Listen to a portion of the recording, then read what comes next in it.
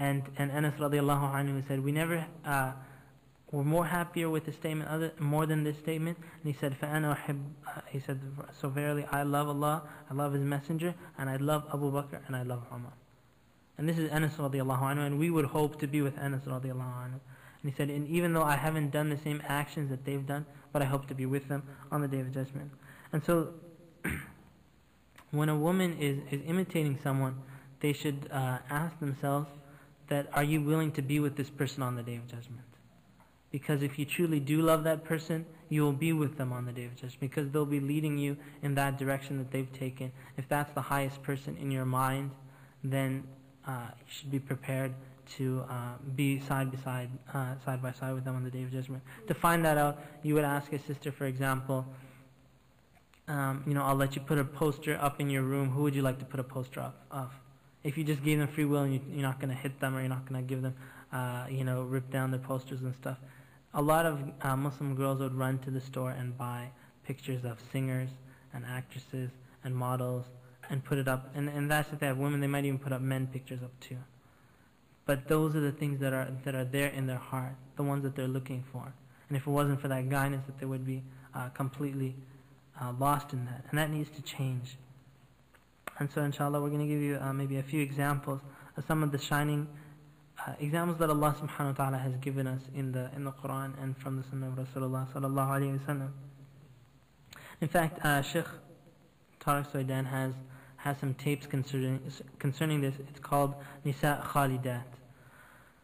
Speaking about women, and one of the statements he makes in the beginning of the of the tapes is that in his research of women that his research of women that were outstanding and made like a huge difference, he said from the from the early times there seems to be many many examples. He said, but as you go down in history, the examples start slowing down until you get times where the Muslims, uh, you know, went backwards and they and they started leaving their deen. You'll see that that's when the women got oppressed, and that's when they they stopped excelling. But the times when they excelled were when the community understood uh, the law of Allah Subhanahu wa Taala. We'll look, for example, at the story of Musa alayhi salam. And in the story of Musa, there are uh, some women that that Allah Subhanahu wa Taala tells us about around the story of Musa. Okay, I can think of four women. Who can tell me the four women that were around Musa alayhi salam? The four women. Okay, you're gonna say all four? Just three? Okay, go. His mother, his sister, Pharaoh's wife. One more. His wife. His wife. Huh? What's the fifth one? Oh, two sisters.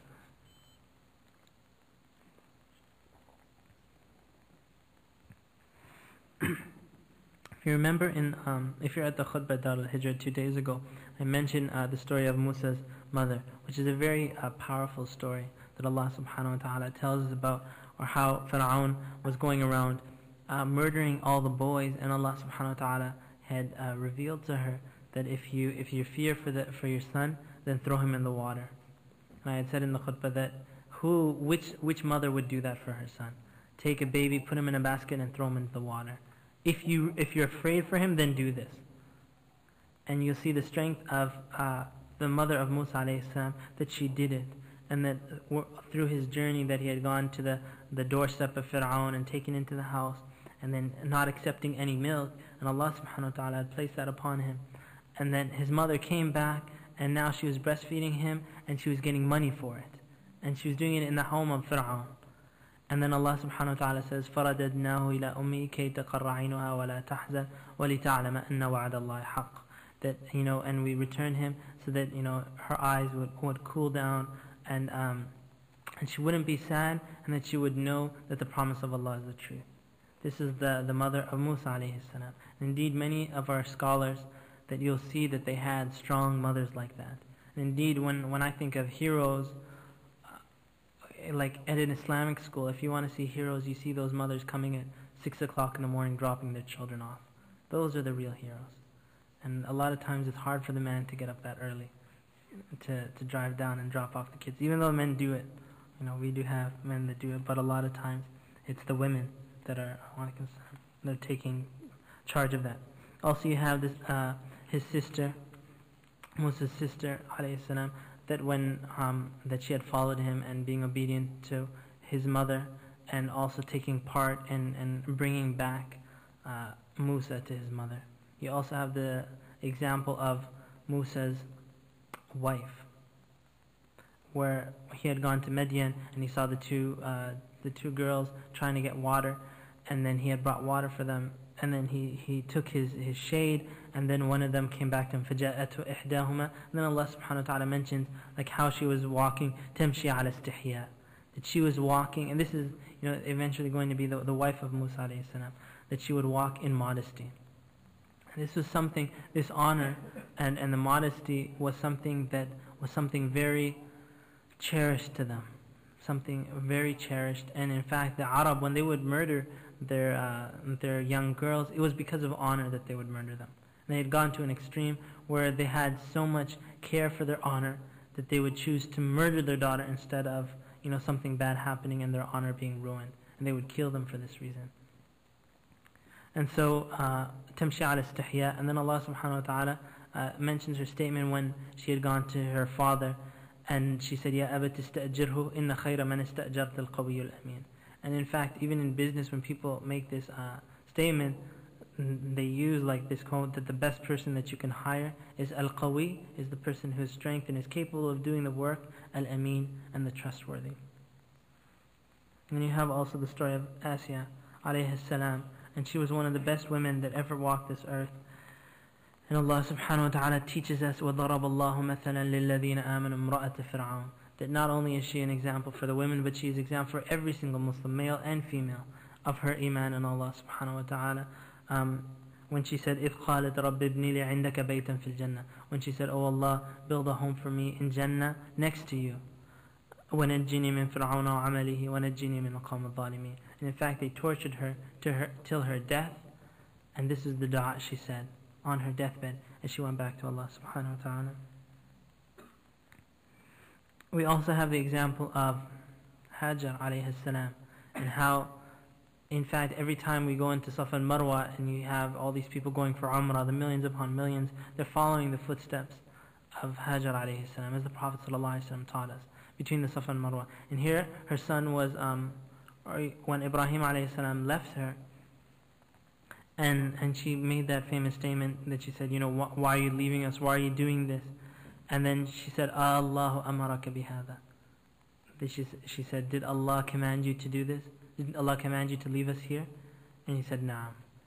And then, and then she said, إِذَنْ لَا يُضَيِّعُنَا that, that if this is the case, then Allah will not leave us to go astray. And so here she's in the middle of a desert, and there was no Kaaba at that time. There's just a barren uh, plain. And then her son Ismail began thirsty, and she had no milk to give him, and they had no water.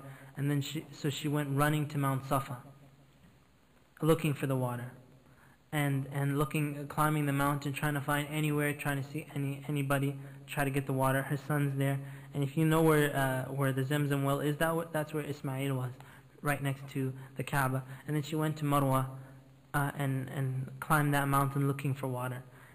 And noticed the, you know, logically what she should have done is gone onto a mountain past that. Go further looking in a different direction.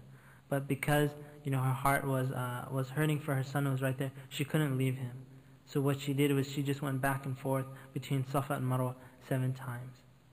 And then Allah subhanahu wa ta'ala blessed uh, Ismail alayhi salam with, with the well of Zamzam and then the life in Mecca began there.